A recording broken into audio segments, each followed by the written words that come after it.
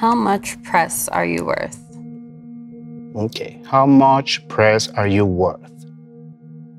So I think there are a lot of biases that come through in reporting and uh, age, gender, race, uh, ethnicity, religion. There are a, a lot of frames uh, that tend to reflect those biases. Do you also see that uh, pretty consistently in the coverage of missing people. And missing white woman syndrome was coined in 2004 by the journalist Gwen Ifill, who noticed that women, especially white women who went missing, got a lot more press coverage than everybody else.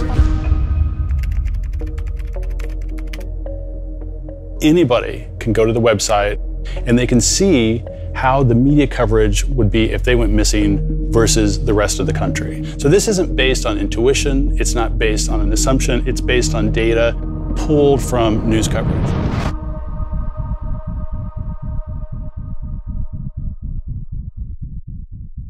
Oh my God. It's a lot. That's so much. Okay, it says I'm worth 67 news stories. That's a lot. You're worth five news stories. The press will barely cover your story. It's shocking, it's embarrassing, and already make me think, you know? You are worth eight news stories, is what I'm saying. That's not many. I'm not surprised. 86% of Americans would hear about me.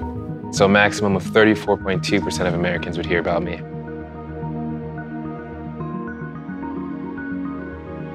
Well, there are a lot of people that look like me that are not necessarily missed when they go missing. My message to the press is you're not performing journalism. This is malpractice. This isn't the way that journalism is supposed to be practiced. By forcing change in this area, we can force a broader change in media coverage. Everyone has value. Uh, everyone's life is worthy of our concern. Everyone is press worthy.